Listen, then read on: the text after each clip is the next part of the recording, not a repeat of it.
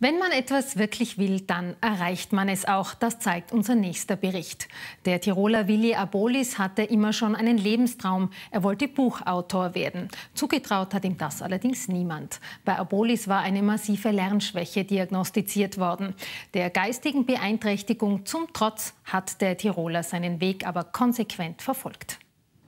Ob ein Jager den Gamsbuch schießen kann, wenn er tragt den Hund unter den Arm Große Baumbeitels einmal hin und einmal her. Drei weiße Anden, aber kalt ist das sehr.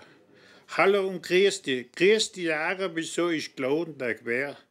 Mit knallrote Rosen in deiner Hand. Achtung, die können stechen durchs ganze Gewand.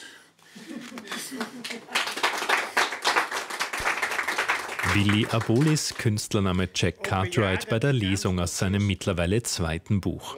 Dass der Tiroler einmal Buchautor wird, hätte er selbst nicht gedacht. Als Kind haben die Ärzte ihm eine verminderte intellektuelle Aufnahmefähigkeit bescheinigt, zu Deutsch eine massive Lernschwäche. Aber Willi hat nicht aufgegeben, Lese- und Schreibschwäche hin oder her, wie ein Tirol heute Beitrag aus dem Jahr 1992 über Deutschkurse für Einheimische zeigt. Die Probleme liegen bei mir hauptsächlich im Schreiben.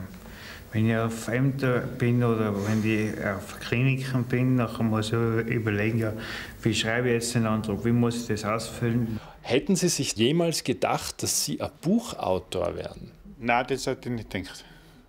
Ich habe ein, ein Büchel schreiben wollte ich eigentlich immer schon. Das ist ein Wunsch von mir, der geht zurück bis zur frühesten Schulzeit. Ich weiß, man die einfach so aufs.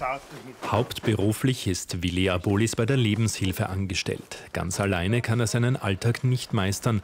Er braucht Hilfe, etwa beim Erledigen der Post oder beim Bezahlen von Rechnungen. Ganz alleine dagegen bringt er seine Gedanken zu Papier. Gedichte über seine Heimat Tirol, geschrieben in Mundart. Ich weiß schon, wenn man Bücher schreibt, das soll man hochgestochen schreiben, aber da bin ich einfach ein Freund davon.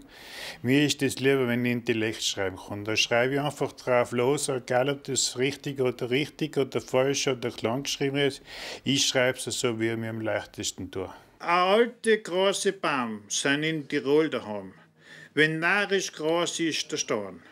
Des Bauerns Hund ist gesund und auch viele Tiroler Blumen haben bunte Farben. Aber du, wieso ist die braune Kuh im dunklen Stall daheim?